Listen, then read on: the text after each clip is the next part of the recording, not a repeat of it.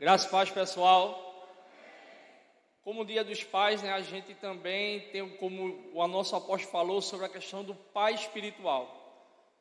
E, e como a gente vê na Bíblia o apóstolo Paulo sendo para Timóteo e para Tito um pai espiritual como um exemplo, a gente também tem o nosso apóstolo. E a gente não pode deixar passar batido esse momento de honrá-lo, a vida dele como nosso pai na fé. A gente tem um pai como exemplo, né? E é muito interessante e é, a forma que ele agiu ontem também, diante da, da, da imposição de Nina, isso foi importante, né? Para quê? Para que as pessoas venham para cá celebrar e ter exemplo. Então, hoje a gente tem o nosso exemplo como o nosso pai da fé, né? Que é o nosso apóstolo Nivaldo. A caminhada, eu sou um que está aqui desde o começo, né? Me viu nascer espiritualmente, estou aqui até quando o Papai do Céu sempre permitir estar debaixo dessa cobertura e vamos embora e estamos juntos até depois do fim. E nesse momento, a gente conversou com as pessoas e é o momento da gente trazer a nossa honra, o nosso presente para o nosso apóstolo Nivaldo. Eu queria que vocês ficassem de pé, a gente vai orar pela vida dele e além de orar, aquele que puder honrá-lo, honrar a vida dele, a gente não pode perder esse momento. Tá certo?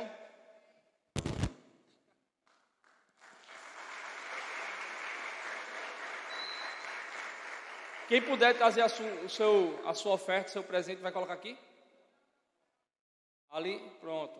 Você coloca o seu presente. Quem trouxe presente, uma oferta, você pode colocar ali.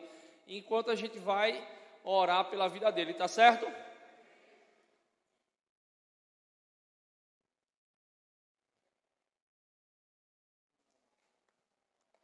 Bom é ter pai espiritual. Muito bom.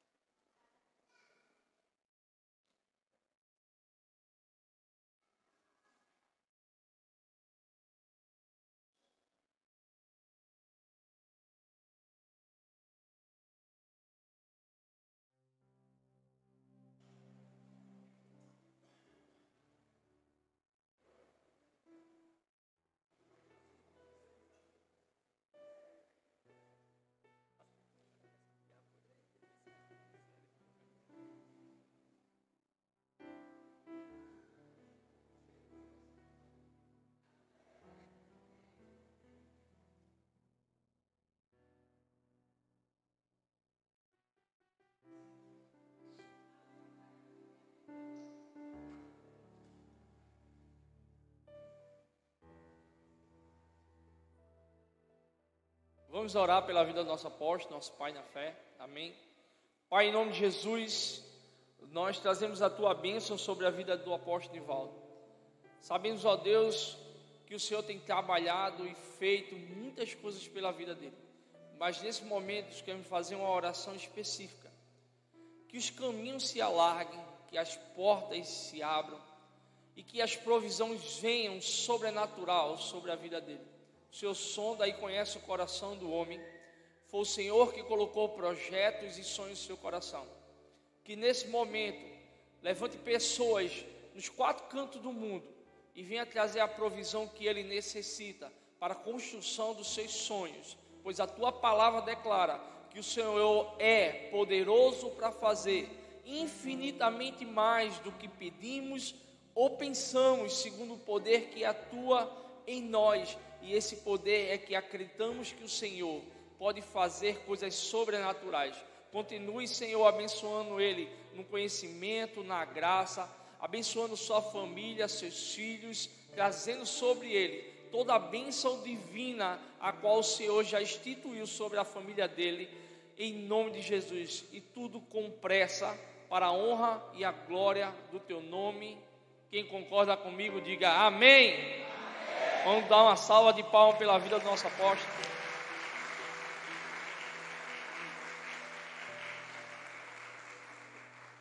Amém, povo santo. Muito obrigado. Sente, por favor. Posso falar em só ter vocês na igreja já é uma grande bênção. E nós temos aprendido e ensinado, né? Que a honra também se manifesta de várias formas uma forma de honrar a pessoa que você ama, faça isso. não só no dia que se instituiu para honrar os pais, mas todo dia é dia de honrar pai, mãe, liderança, pastor. Temos que a cada dia praticar mais isso, porque Deus ama isso. Isso parte do coração de Deus. Falando sobre paternidade, eu vou ser breve, ou tentar dar uma pequena base para vocês. Abra primeiro aí em, Romanos capítulo 8. Vamos avançar no horário. Temos Santa Ceia hoje, Romanos capítulo 8.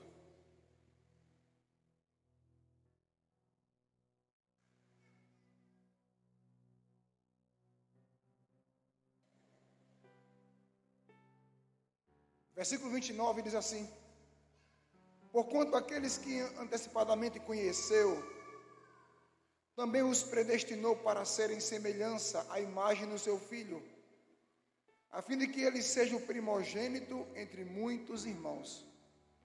Preste bem atenção. É, se você é leitor da Bíblia, você deve lembrar que Gênesis, a Bíblia diz que Deus criou homem em sua imagem e semelhança. Deus criou, Deus criou. Eu quero que você entenda que Adão não foi gerado, foi criado. A criação melhor e mais perfeita. Por isso você não vê Adão sendo intitulado como filho, mas como criação. A criação falhou, a criação perdeu o propósito.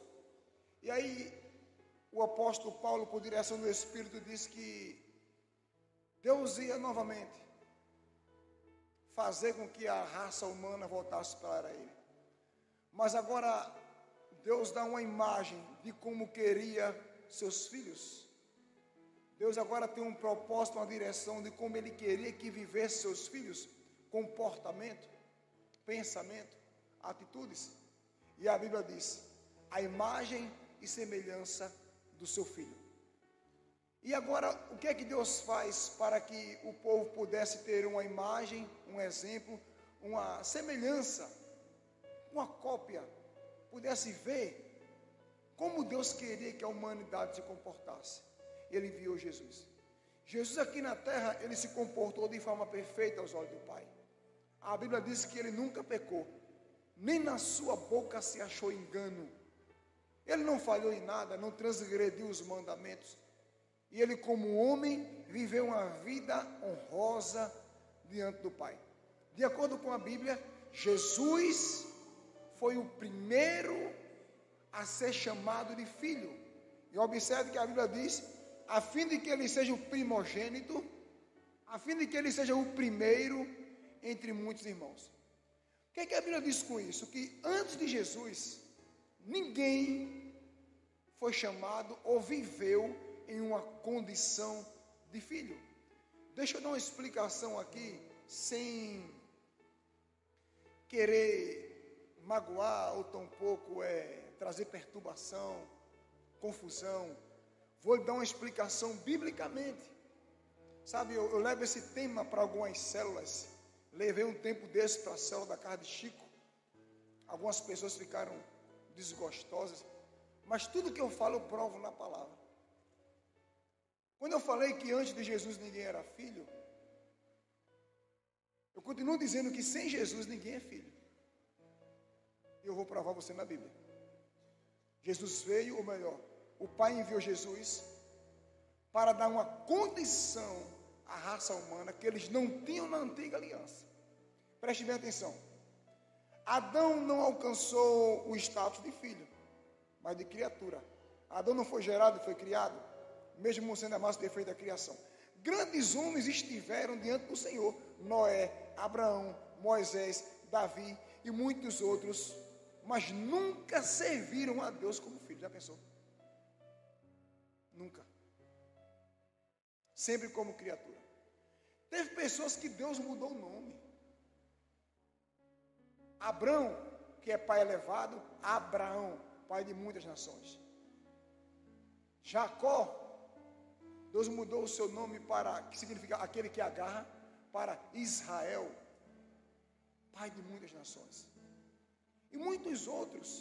Paulo, embora o nome de Paulo seja romano e Saulo seja hebreu, eles têm o mesmo significado. Mas você conheceu Paulo em um estágio da vida e Saulo em outro estágio da vida. Antes disso, nenhum conseguiu se relacionar. Você não vê Deus mudando o nome de nenhum deles para filho. Mas veja o que a Bíblia diz. Abra aí, por favor, em João capítulo 1.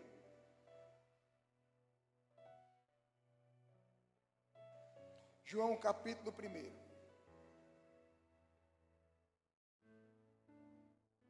Versículo 11 ao 13 diz assim: Ele veio para os seus, mas os seus não o receberam. Mas a todos quantos o receberam, deu o direito de se tornarem filhos de Deus. Preste bem atenção. Mas a todos os quantos o receberam, deu o direito de se tornarem filhos de Deus. Ou seja, aos que creem no seu nome aos quais não nasceram do sangue, nem da vontade da carne, nem da vontade do homem, mas nasceram de Deus. A Bíblia é clara. Ele veio para os seus. Quem eram os seus? O povo de Israel. E a Bíblia diz: os seus não eram filhos, mas era um povo que tinha feito uma aliança através de Abraão. E Deus honra essa aliança até hoje de acordo com a Bíblia, Israel vai conhecer o Senhor no final, no final da grande tribulação, ele reconhece quem é Jesus. Mas eles não receberam. E agora a palavra diz que todos os que receberam, ou seja, sai agora da nação de Israel, e você vê na Bíblia Jesus dando palavras que veio para eles, mas rejeitaram. Mas a todos os que receberam, eles deu o direito. Por que o direito? Porque não era. Não tinha esse direito. Direito de quê? De se tornar. Se tornar o que? O que nunca foi. Se tornar o que nunca viveu. E a Bíblia diz: se tornarem filhos de Deus. E a palavra continua: não segundo o sangue ou segundo a carne, ou seja, não segundo um filho gerado por homens, mas gerado por Deus. E como é que Deus vai gerar filhos? Jesus explica isso. João capítulo 3, abra lá. Jesus explica como é que Deus vai gerar filhos para si mesmo. João capítulo 3, versículo 3 em diante diz assim: Jesus respondeu-lhe, declarando: Em verdade, em verdade te asseguro que se alguém não nascer de novo, não pode ver o reino de Deus. Você deve entender que só vai ver o reino de Deus aqueles que são filhos dele. Nicodemos que questionou: Como pode um homem nascer sendo velho? Pode todavia entrar pela segunda vez no ventre de sua mãe e nascer novamente? Respondeu Jesus: em verdade, em verdade te asseguro: quem não nascer da água e do espírito não pode entrar no reino de Deus. O que é nascido da carne é carne, mas o que é nascido do espírito é espírito. Jesus não estava falando com qualquer pessoa. Nicodemos era um príncipe dos fariseus, ele era um mestre da lei, um mestre naquilo que se falava a respeito de Deus, mas esse mestre, tão evoluído no seu conhecimento, por não ter a condição de filho, não entendia quem era o Deus Pai. Ele entendia quem era o Deus Senhor, mas não sabia quem era o Pai. Porque a Bíblia diz que o Pai se revelou através de Jesus. E aqui nessa conversa, como é que pode? nascer de novo, o homem sendo velho, ele estava falando dele. Porque ninguém podia ser mestre da lei com menos de 30 anos.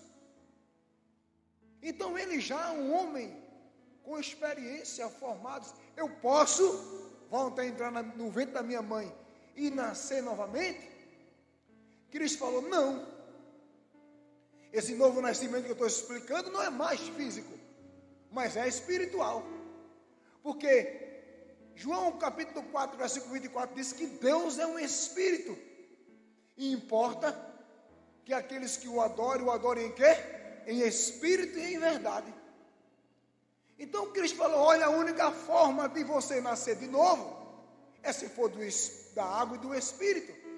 Nós sabemos que a água da alusão é uma forma simbólica da palavra. Nós sabemos que a palavra, em João capítulo 1, versículo 1, diz que ela se fez carne. Verbo, no grego, significa palavra. Cristo estava dizendo: aquele que nascer de mim e do Espírito Santo vai poder entrar lá. A gente bate essas coisas com 2 Coríntios 5,17. Diz que aquele que está em Cristo, vamos lá, aquele que está em Cristo, as coisas velhas, tudo se fez quem aqui, quando nasceu de novo, ou quando tornou-se nova criatura em Cristo, ao tornar-se nova criatura, como falou a, a filha de Castelar, Axa, quando você tornou-se nova criatura, o cabelo cresceu na hora? O que era baixinho ficou alto? O que era gordo ficou magro? A cor dos olhos mudaram? Então entendemos que ele não está falando do nascimento físico, mas do nascimento espiritual. Quem está em Cristo é nova criatura. Diga assim: nasceu de novo. Diga as coisas velhas, inclusive meu antigo estilo de vida ficou para trás. De tudo se fez novo. Por isso a Bíblia diz: quem mentia não minta mais. Amém, mentiroso? Quem mentia não minta mais. Quem enganava não engane mais. Quem roubava trabalhe. E quem falava palavra torpe, palavra, é, vamos, vamos simplificar. Quem fala palavrão, a palavra diz, da sua boca só sai agora o que é bom e transmita graça para quem está ouvindo. A palavra está falando para os filhos. Você nasceu de novo? Você não, filho? Amém. Lembra? Aquele que, aqueles que antecipadamente conheceu, o predestinou para ser a imagem do seu filho, a qual ele seria o primogênito. Você via ou leu aqui alguma vez, ou imagina Jesus aqui na terra mentindo, enganando, fazendo coisa errada? Não. Predestinou a imagem dele. Deus mandou Jesus para que os filhos andassem segundo o irmão mais velho. Diga, meu irmão mais velho é Jesus. Por isso, que não é uma afronta, mas você não pode entrar nesse lugar, irmão, e sair sem esclarecimento. Não é um esclarecimento que nós criamos com a nossa cabeça. Eu estou falando para você abrir a Bíblia. E na Bíblia está dizendo que Jesus veio para te tornar filho de Deus. É. Para te tornar filho. Você quer ver mais? Vamos lá para a primeira carta de João, capítulo 5. Primeira carta de João, do apóstolo João, capítulo 5.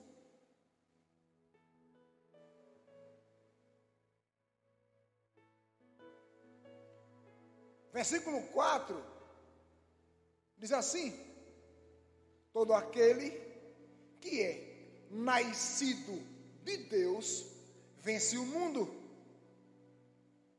Esta é a vitória que vence o mundo, a nossa fé. Dê um pulinho para o versículo 18. Versículo 18. Ora, sabemos que todo aquele que é nascido de Deus não é escravo do pecado. Antes, aquele que nasceu de Deus o protege e não permite que o maligno possa tocar. Então a Bíblia está dizendo que existem nascimentos proporcionados por Deus. Se você lembra quando Jesus falou, isso o apóstolo João escrevendo, né? Em João capítulo 1, versículo 13: Filhos que não nasceram da carne e do sangue, mas segundo a vontade de Deus. Aí Cristo falou em João 3,6 que não nasceram da carne, mas do Espírito. Aí agora, a gente lê o apóstolo João explicando que tem pessoas que foram geradas, preste bem atenção, não criadas. O primeiro homem foi criado. Mas aqui está dizendo que aquele que foi gerado, gestação não envolve criação. Se gera, depois nasce. Preste bem atenção. Após a queda do homem, Deus proporcionou à raça humana o que eles não poderiam ser. Não havia nascimento espiritual em Gênesis. Não havia propósito para isso. O homem foi criado para ser eterno. Não existia morte. O apóstolo Paulo, ele fala em, se não fala em memória, Romanos 6,20. Um versículo tão conhecido que às vezes foge da mente. Que diz que o salário do pecado é o quê? Mas Paulo não foi o primeiro a dizer isso. Deus falou isso a Adão em Gênesis capítulo 2, versículo 16 e 17.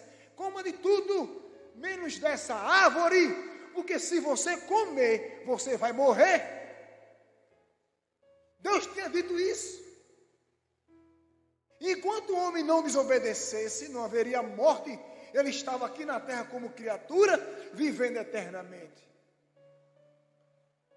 Agora, após a queda, Deus manda seu filho e ele prepara o céu. Diga, mas o céu não é mais para a criatura. Diga, a terra é para a criatura, mas o céu é para os filhos.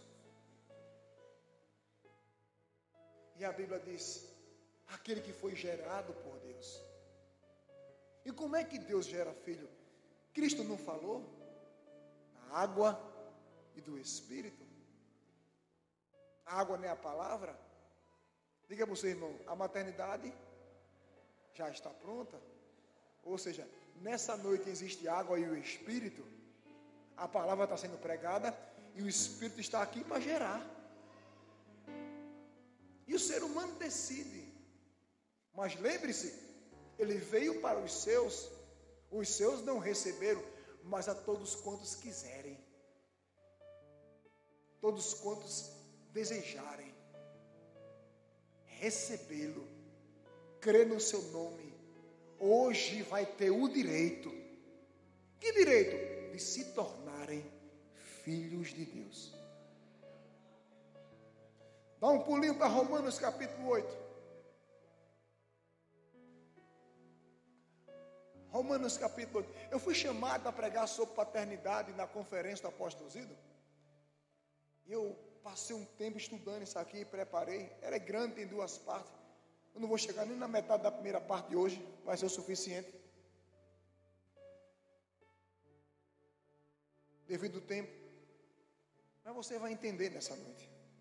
Romanos 8, a partir do versículo 15, diz assim: Pois não recebeste um espírito que vos escravize para andares uma vez mais atemorizados mas recebesse o Espírito que os adota, o Espírito que os adota, grave essa palavra, o Espírito que os adota como filhos, por intermédio do qual podemos clamar, Abba Pai. Não fez tua Bíblia, deixa ela aí aberta. Vem cá, Davi. Ele fez eu? Como é o nome desse menino? Não fale nem do seu pai, viu? Fique quieto. Esse que é cheiroso, bonito, cabeludo, né? Como é o nome desse menino, pai? Venha cá, por favor. Davi Leandro. Davi Leandro. Só isso? Mendes da Cunha. Agora completou. Qual a idade dele? Ui. 11 anos. O senhor é o pai dele? Sou o pai. Como é que você prova isso? Tem um documento que prova que eu sou o pai Qual dele. o documento? Registro de nascimento. Deixa eu fazer uma pergunta a vocês. Diante da nossa lei, a lei que rege essa nação, ele, Leandro Mendes da Silva. Mendes da Silva, pode adotar Davi Leandro Mendes da Cunha? Sim ou não? Por quê? Já é meu filho. É o quê? Já é filho. Já é filho, já é pai?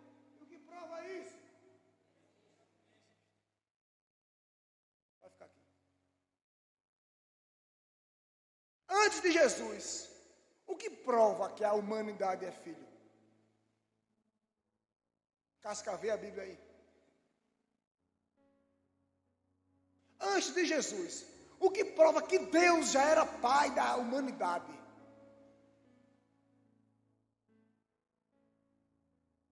Se Deus fosse pai, Deus, filho, se ele fosse pai, ele não podia, diga, adotar.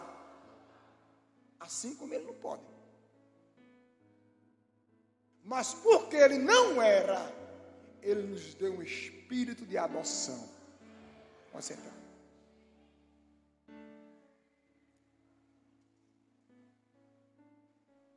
Está aqui na Bíblia. Se eu, como pai, não posso adotar meu filho, por que Deus ia adotar sendo pai? Não tem como. Por que ele adotou? Porque a humanidade estava órfã. Veja o versículo 16. O próprio Espírito Santo testemunha ao nosso espírito que somos filhos de Deus. É. Diga, não preciso que ninguém me faça acreditar. Diga, não preciso que ninguém me faça acreditar. Eu entreguei minha vida a Jesus. E o Espírito Santo testifica comigo que eu sou filho de Deus. É o Espírito Santo. Ao 17, se somos filhos, então também somos herdeiros, herdeiros de Deus e co-herdeiro com Cristo, se realmente participamos dos seus sofrimentos para que, da mesma maneira, participemos da sua glória. Versículo 19. Agora a gente vai fazer separação. Preste bem atenção. Até o 17, a gente vê a Bíblia ensinando que Deus nos adotou. Nós somos filhos, o Espírito testifica e somos herdeiros dele. Mas veja agora a separação que Deus faz de filho e criatura. Irmãos, isso é assunto de célula, viu? Pega para aplicar na célula. Veja a diferença. Versículo 19. A própria natureza criada aguarda com vívido anseio que os filhos de Deus sejam seja o quê? Seja o quê? Seja o quê? Diga para o seu irmão, as pessoas estão esperando você se manifestar para ela como filho de Deus manifestando Sua presença e ensinando a ela, Deus quer te adotar. Já vi pessoas ensinando fora da palavra que essa natureza criada era a natureza, árvores, os animais, os rios, os mares. E para que ele espera que eu me, que eu me manifeste? Eles esqueceram que o homem também foi enquadrado na criação. E antes de fazer Antes da raça humana existir, Deus o criou. Então o homem também está dentro da toda a criação que Deus fez. E agora a Bíblia ela separa. O que ela separa? Criação e filho. Onde é que você vê isso? Você vê isso em 1 Coríntios capítulo 15, a partir do versículo 44, mais ou menos, quando Jesus dá a alusão, ou melhor, perdão, o apóstolo Paulo, ele ensina acerca do primeiro Adão e do segundo Adão. Paulo fala: o primeiro Adão era terreno, o segundo era celestial. Paulo fala que, ei, assim como é o terreno, é os terrenos, e como é o celestial, serão os celestiais. Paulo estava dizendo: ei, há uma separação de criação e filho. Adão veio como criatura, Jesus como filho. Aqueles que ainda seguem como Adão é criatura, mas quem crê Jesus tornou-se filho como ele é. Temos que entender, e aqui a Bíblia diz que existe uma expectativa. É que você no seu trabalho, na sua casa, na sua vizinhança, na escola, se manifeste como? Como um filho de Deus. E a Bíblia diz: eles estão na expectativa. Mas por que eles têm essa expectativa? Versículo 20. Porquanto a criação foi submetida à inutilidade, não por sua livre escolha, mas por vontade daquele que o sujeitou, o diabo, na esperança de que também a própria natureza criada será libertada do cativeiro da degeneração em que se encontra, recebendo a gloriosa liberdade dos filhos de Deus. É, irmão, tem gente presa, assim como eu ou vocês foram um dia.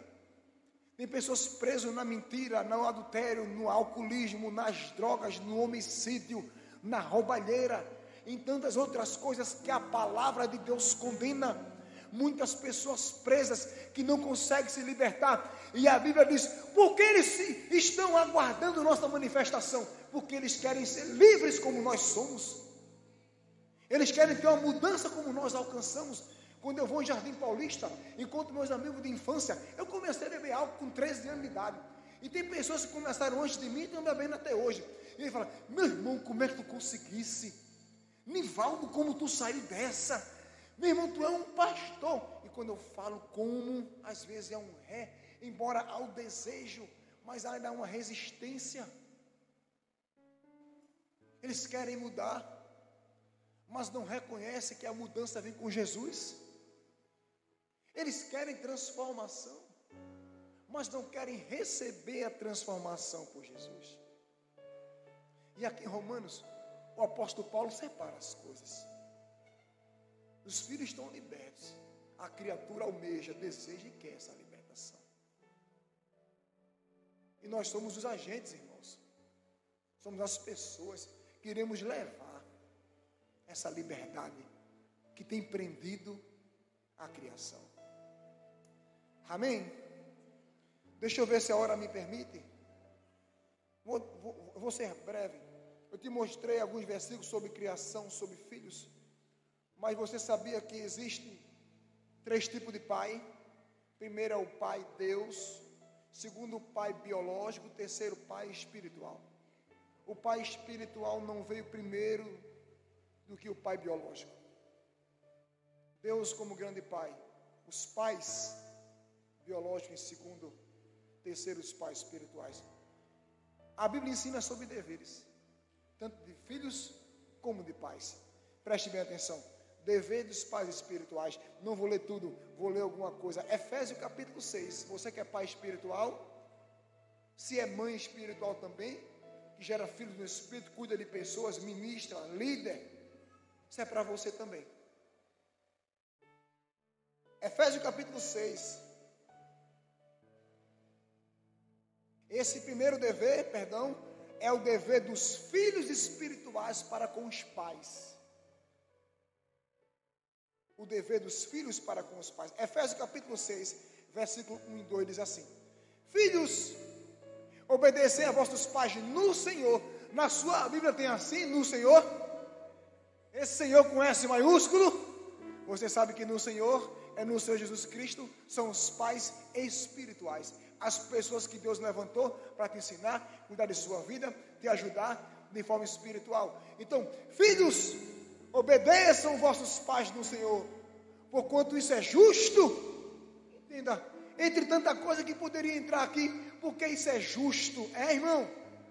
É justo você obedecer, honrar aquele que te ensina, aquele que te ajudou a se libertar, que mantém você firme, que em muitas horas ninguém pode te socorrer, ele está perto de você para te orientar, para te ajudar, ensinar a palavra, orar por você, muitas vezes participando de libertação, participando de cura em tua vida, te ajudando a se manter firme no Evangelho. A palavra diz: obedeça essas pessoas, porque é justo.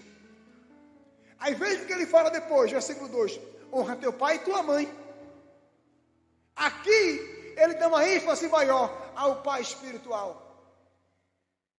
Segundo, honra teu pai e tua mãe, porque este é o primeiro mandamento com promessa. Sabe o que eu digo a meus filhos? Você quer arrumar uma esposa boa? Quero, pai. Primeiro, arruma uma boa filha, que honre a mãe, honre o pai e que também honre ao Senhor Jesus Cristo.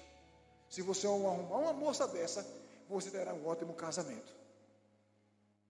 Porque uma filha que não honra pai, e não honra a mãe, não sei se vai honrar o marido.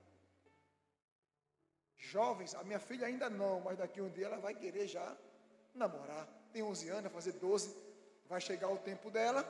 Eu vou dizer: você escolhe a cor, você escolhe a cor dos olhos, você escolhe o cabelo, você escolhe o que quiser. Agora a referência quem dá sou eu. Bom filho, que honra pai e mãe e que ama e sirva ao Senhor Jesus Cristo. Se não for esse, eu não quero. Eu sou pai. Na minha casa tem esse negócio de filho escolher quem quer, escolhe não, escolhe quem quer nada. Escolhe quem eu quero junto com você. Eu escolho uma parte, você escolhe outra. A parte que eu escolho é honre pai e mãe. É aquele. Preferência, bença pai, bença mãe. É desse tipo que eu gosto. Que não mente para o pai, não mente para a mãe, não engana pai e mãe, não é ignorante com pai e mãe. Segundo, né? Eu digo segundo porque, na verdade, esse que eu falo o segundo é o primeiro. Porque se você ama e honra Jesus, você vai amar e honrar o seu pai e sua mãe. É impossível não ser dessa forma. Meu critério é esse na minha casa. Agora cor, o cabelo e tal, é baiano, é sergipano, é paraibano, isso é com você. Quem vai morar com ele é tudo, sou eu? Vai nada, até agora. E a Bíblia diz que se você honrar pai e mãe, diga a promessa, vai te acompanhar. Aí meus filhos terão um casamento abençoado. A casa de meus filhos será abençoada. A vida deles será abençoada. Porque a palavra diz que aquilo que Deus prometeu, Ele cumpre. E vai cumprir na vida, no casamento e no lar dos meus filhos. Eu só quero isso, irmão. O resto é com Ele. Dever dos pais espirituais. Eu não vou ler tudo, eu quero ler só alguma coisa. Vamos lá. Dever dos pais espirituais para com os filhos. Vamos aí para a 1 Tessalonicenses capítulo 2. 1 Tessalonicenses capítulo 2. Pode aquecer. É só esse versículo mais um. E vamos partir para a adoração. Versículo 9 em diante diz assim: Porque certamente vos recordais, caros irmãos, do nosso dedicado, viu, pais espirituais? Dedicação, pais espirituais. Do nosso dedicado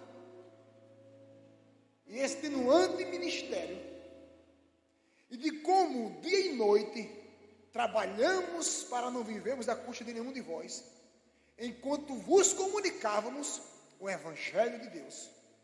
Vós e Deus sois testemunhas de como nos portamos de maneira santa, aleluia, justa e irrepreensível entre vocês, os que credes, os da fé. E sabeis ainda que tratávamos a cada um de vós com a mesma deferência que um pai trata seus filhos, suplicando-vos, consolando-vos e oferecendo o nosso testemunho, a fim de que possais viver de modo digno de Deus, que vos convocou para o seu reino e glória. Ah, os pais espirituais também têm seus deveres. E Paulo falou: Ei, nosso comportamento diante de vocês foi de forma santa, justa e irrepreensível. É assim que um ministro do Evangelho, é assim que um líder espiritual, é assim que um pai espiritual deve se comportar diante dos seus filhos. E Paulo falou: E vocês sabem que o tratamento que eu dei a vocês foi como filhos. Vocês não sabem, não vou dizer quantos e quem, mas todo ano Deus manda eu vestir e calçar pessoas. Esse ano já tem gente. Eu fui muito abençoado no meu aniversário. Quando eu olhei assim, eu disse, Deus, para que tanta coisa, tanto perfume? Aí eu juntei perfume no desodorante e trouxe aqui para a equipe da obra. Tinha cinco pessoas nesse dia e foi cinco presentes que eles receberam. Porque chega final de ano, não sei que eu não posso fazer por todos, mas muitas vezes no início da caminhada, meu coração doía em eu poder vestir meu filho e eu ver pessoas que eu amo não poder se vestir, sabe? E aí, desde esses dias, Deus sempre colocou no meu coração E eu sempre estou vestindo, calçando pessoas em todo ano, da forma que eu posso dar e quantos eu posso fazer. Experimente isso, irmão. Você que pode. Acaba com esse negócio de meu dinheiro é só para minha família pagar. Não, irmão.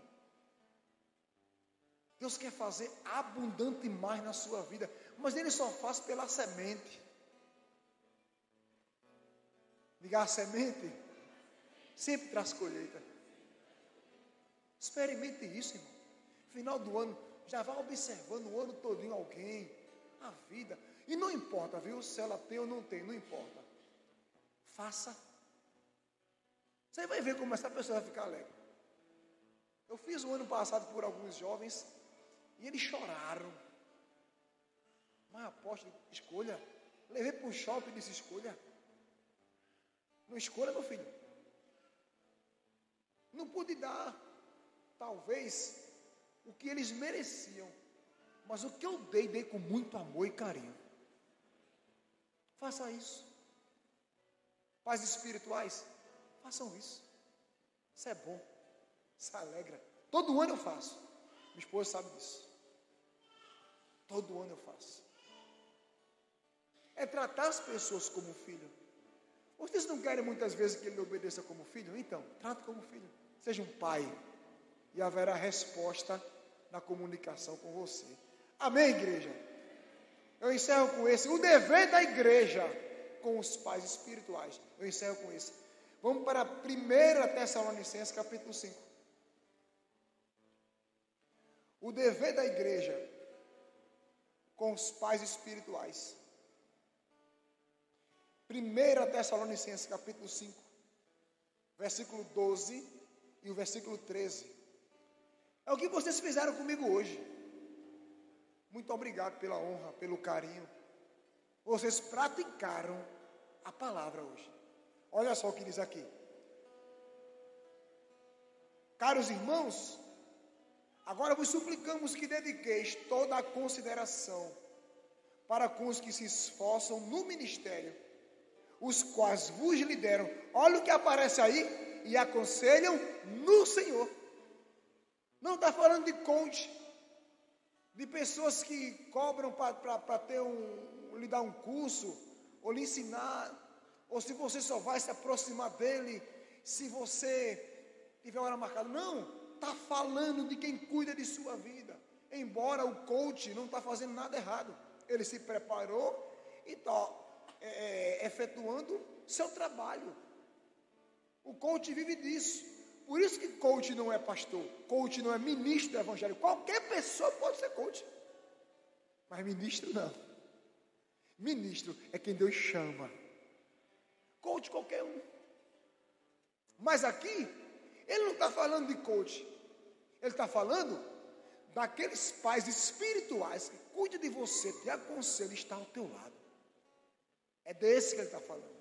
E a referência que ele dá aqui é que os tenhais na, com toda consideração. Versículo 13.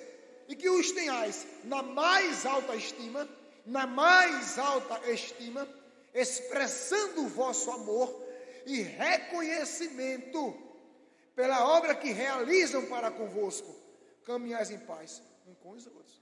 Irmãos, é muito bom, isso é prazeroso para o ministro. É prazeroso para o pai espiritual, sabe? Eu vejo aqui pessoas se dedicando, trabalhando, não tem hora, não tem momento para estar ajudando, aconselhando, para estar perto. Nada mais justo do que o discípulo, o filho, o abençoado, reconhecer. Às vezes, irmão, não é coisa muito grande, não, coisa pequena. Eu trouxe uma coxinha para a senhora. Eu vim levar a senhora hoje para tomar um açaí. Meu Deus, o líder faz, eu, rapaz, é, eu quero, meu líder, sair com o Senhor e pagar um açaí. Conversar com o Senhor e demonstrar a gratidão, o apreço que eu tenho pela sua vida. É bíblico. Está na Bíblia. E a Bíblia tem isso como dever. Você sabe que dever é para fazer, é obrigação da igreja com seus pais espirituais. É uma pena que nem toda igreja entende isso. Para as pessoas que, claro, não vou falar todas, mas muitas pessoas que não conhecem a palavra, Isso é motivo de crítica. Que conversa, rapaz. Babar o pastor, babar o líder. Aquilo que para eles é babação, para a gente é honra. Porque nós compreendemos o que a palavra ensina. Por isso somos diferenciados, irmão. Por isso somos luz. Por isso somos sal. Temos que entender. E não permita esse, esse, esse tipo de crítica surgir no meio de vós. Alguém vai e chama o pastor Wagner. Pastor, eu quero dar um paletó ao Senhor, quero dar um sapato ao Senhor. Para que isso? Para que isso é pouco por aquilo que ele faz por tantas pessoas. Diga isso é gratidão. Diga isso é honra, reconhecimento pelo trabalho deles. Coisa boa, né? Você pregar e mostrar na palavra, está aqui. Eu lhe garanto uma coisa: triste ele não vai ficar. Faça isso. Isso é praticar a palavra. Às vezes as pessoas se queixam, ninguém lembra de mim, ninguém me dá nada. Mas você pratica isso? A palavra não diz lá em João 6,38? Dai e vos será dado. Observe, primeiro você dá e vos será dado o que? Boa medida, calcada, sacudida, transbordante, generosamente vos darão. Aí ponto. Depois do ponto é a medida que usares para medir o teu próximo, a mesma medida será usada para te medir. Faça isso. Sem intenção de receber ou fazer com você. Faça porque você entende a palavra, faça porque você gosta de honrar, faça porque você ama a sua liderança. E a Bíblia diz: isso vai gerar um ciclo de colheita para a sua vida. Amém. Eu não vou me alongar mais. Tem muita coisa aqui, mas a gente vai parar por aqui. Suficiente para a gente entender que nós somos filhos e que existem deveres por sermos filhos. Alguns são pais espirituais e existem deveres por sermos pais. E a Bíblia diz que existe deveres, existe deveres da igreja para com a sua liderança. Observe que a liderança principal, eu e minha esposa, mas existe uma liderança que está com você, ajuda você, aconselha você e abençoa a tua vida.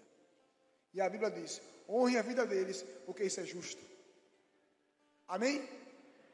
E é justamente por isso que estamos aqui para celebrar a Santa Ceia.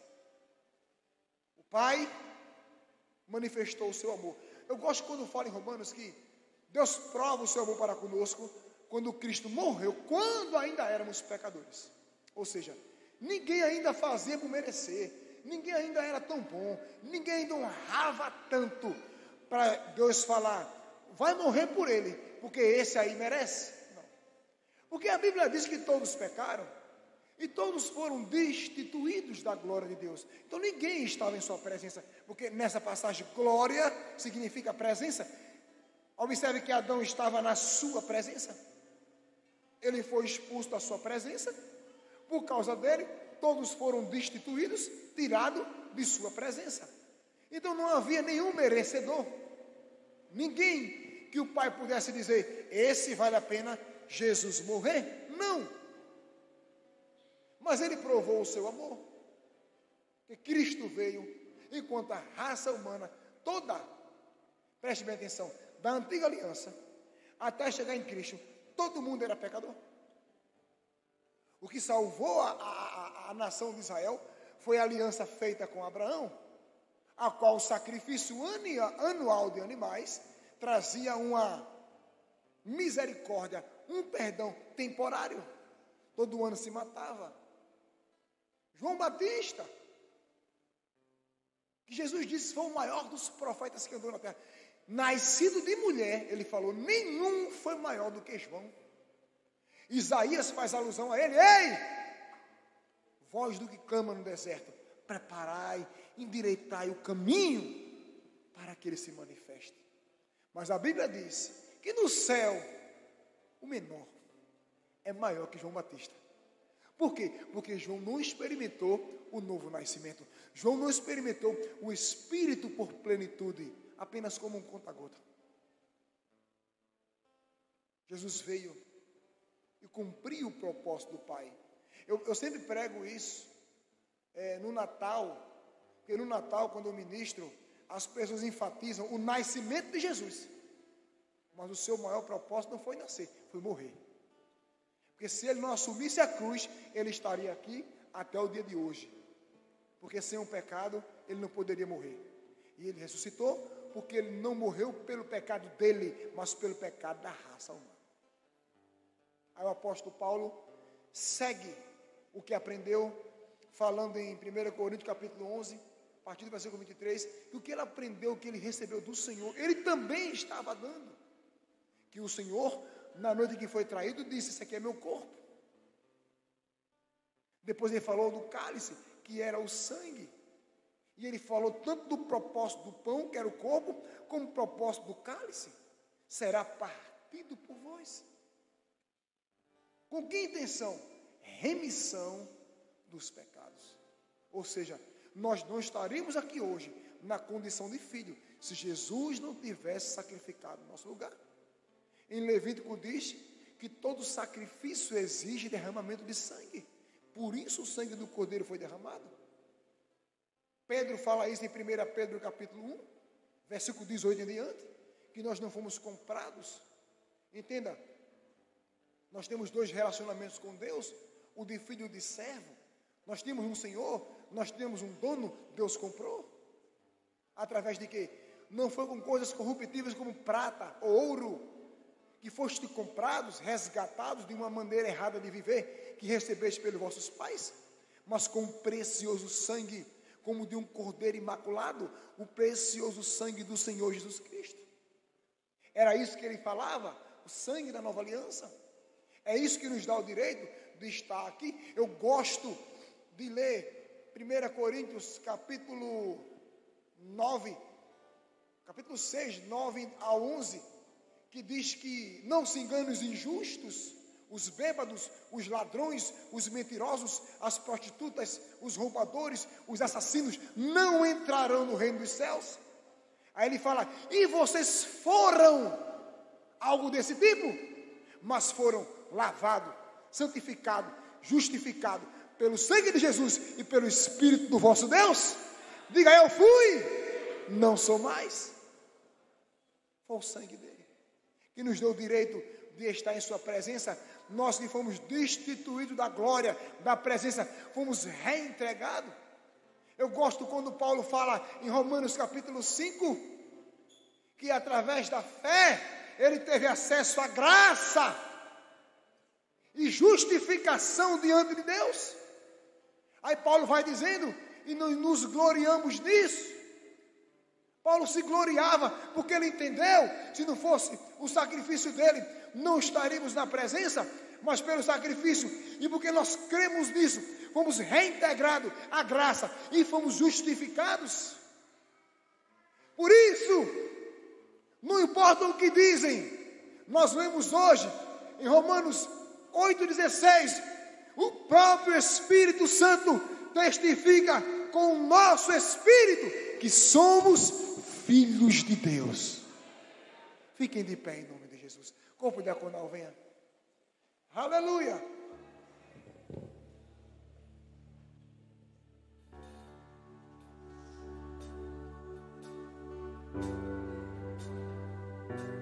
Já vai agradecendo aí, irmão. Já vai agradecendo. Ei, se alguém tiver dúvida do que ouviu aqui nessa noite, pode me procurar no final. A gente vai sentar com a Bíblia e eu posso lhe explicar mais coisas acerca da filiação, filho de Deus, tornar-se filho, pode procurar.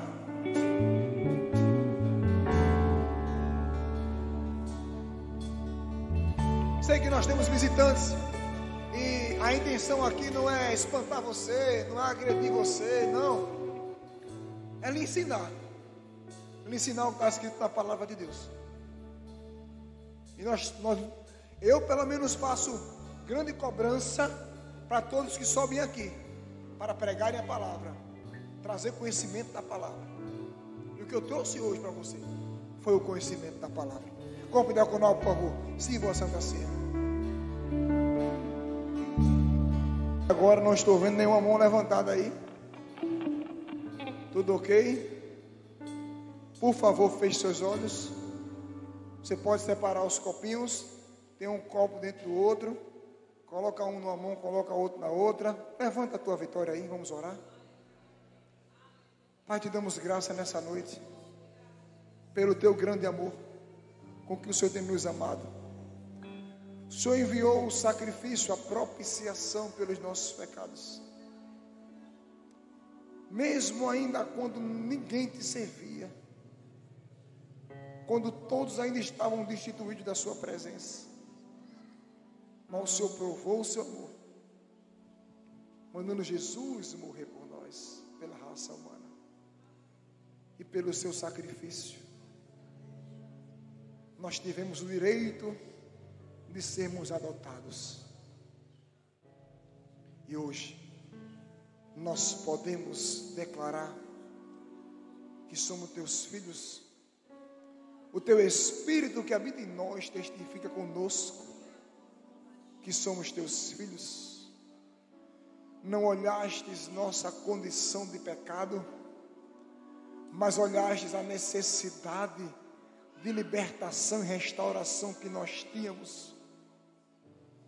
E hoje estamos aqui, Senhor, diante da Sua presença. Obrigado, Jesus, por Sua obediência, mesmo estando diante da maior missão que um homem já teve. O Senhor não retrocedeu, e por obediência ao Pai e amor às nossas vidas, o Senhor se entregou como oferta, com o intuito de nos resgatar. Obrigado, Senhor. Obrigado, Santo Espírito Santo do Deus vivo, por hoje estar conosco, ajudando, fortalecendo, ensinando, repreendendo, educando, todos os dias, e testificando muitas vezes, quando nos achamos indignos que nós somos filhos de Deus. Obrigado. Senhor, consagramos a Ti. Santa Trindade, nós consagramos a Ti. Esses pães e esses cálices. Senhor, não sei como Teus filhos chegaram aqui nesta noite. O coração, a vida, a cabeça, eu não sei como está, mas o Senhor conhece. Pai, que após todos tomarem a ceia, eles saiam fortalecidos, eles saiam cheios de poder, cheios de graça, convictos em permanecer em Sua presença. Que a unção do Teu Espírito envolva os pedaços de pães e os sucos de uva. Que no reino do Espírito possamos estar comendo o corpo e tomando o sangue do Teu Filho. Eu, como ministro do Evangelho, consagro a Santa Ceia em nome do Pai, do Filho e do Espírito Santo, poder participar da Santa Ceia do Senhor.